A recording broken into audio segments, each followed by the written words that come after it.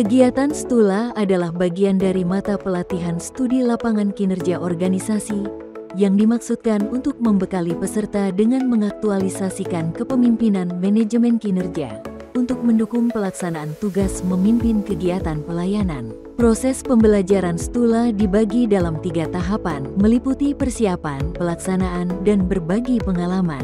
Pada kesempatan kali ini, kelompok 3 PKA 2 tahun 2024 melakukan studi lapangan ke Sentul City. Salam sehat selalu Pak. Ini pagi yang berbahagia ini, Alhamdulillah kita bisa bertemu tetap muka dari BPN ya. Gambaran awal tentang apa itu Sentul City, bagaimana apa yang dijualnya, kemudian bagaimana mekanisme untuk uh, promosinya. Di luar dari itu tentu ada uh, kiat-kiat uh, sukses di dalam manajemennya, Pak. luar biasa sudah lama sekali tadi Pak Edi bilang em, apa namanya kita udah puluhan tahun di sini 30 tahun ya Pak ya jadi udah 30 tahun di Sentul City berdiri. Jadi kalau Bapak Ibu tahu Sentul City ini ada 3.100 hektar. Jadi total area kita 3.100 hektar. Di mana 1.250 itu sudah di develop maksudnya apa? Sudah jadi. Sudah ada. Barang-barangnya sudah lengkap. Fasilitasnya sudah ada, sekolahnya udah lengkap, rumah sakit udah lengkap, tadi saya bilang mulai segala macam udah lengkap. Nah, Sentul City sebenarnya adalah manajemen baru. Kalau Bapak Ibu tahu, kita dua tahun terakhir ini adalah manajemen baru, mulai merubah eh, eh, apa ya, em, cara pandang polanya Sentul City ini seperti apa. Jadi benar-benar kami itu menghadirkan kebutuhan sebenarnya. Kalau Bapak Ibu tahu, ada tiga eh, konsep Sentul City itu ter- terkenalnya apa sih? Ada tiga hal yang paling penting. Yang pertama adalah homes, jadi tentang rumah. Yang kedua adalah hills, lembah. Yang ketiga, yang ketiga adalah mountain atau gunung. Jadi ada rumah, lembah, dan gunung. Nah itu adalah motonya Sentul City. Jadi kalau uh, ditanya Sentul City ada apa aja sih? Rumah, lembah, dan gunung. Jadi itu yang terkenal home, hills, and mountain. Itu adalah motonya.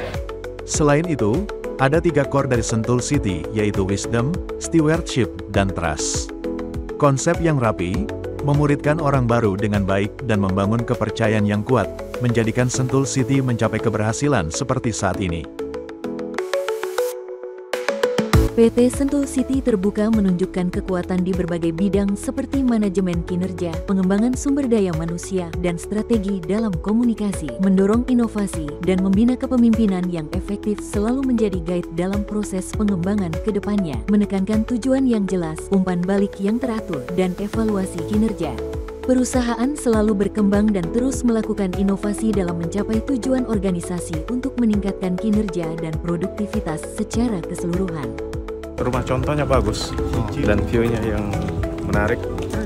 bingung buat nyetrika di mana ya padahal rumah orang di mana bagus sih namanya Spring Valley. Ini rumahnya sangat eh, bagus, penataannya apik. Tidak ada kabel-kabel yang terlihat di atas guys, semua pada ditanam. Jadi konsep kota modernnya memang sudah smart city-nya sudah.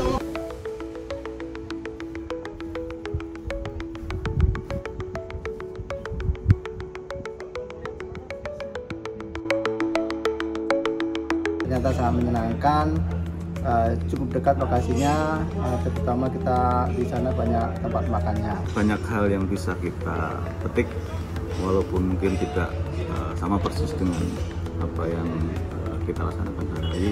sangat eh, menyenangkan dapat eh, wawasan dan pengetahuan yang baru sangat mengagumkan karena PT Sentul City itu dengan tanah yang dimiliki begitu luasnya tanpa ada permasalahan terhadap orang-orang yang menggugat tentang keberadaannya dan mafia tanah belum masuk juga ke wilayah Sentul City. Sangat menginspirasi bagaimana perusahaan jatuh bangun, tapi dengan manajemen yang baik, perusahaan tersebut bisa eksis, terutama manajemen kinerja, eh, manajemen SDM, dan inovasi-inovasi yang dilakukan itu luar biasa, sangat menginspirasi.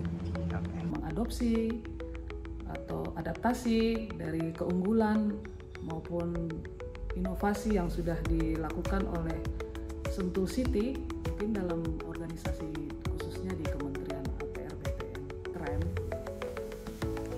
Keren. Mantap.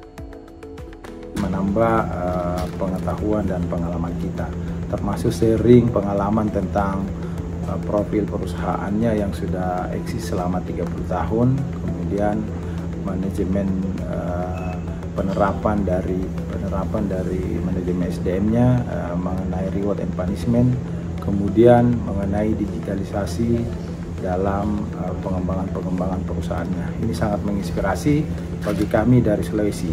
Ewako.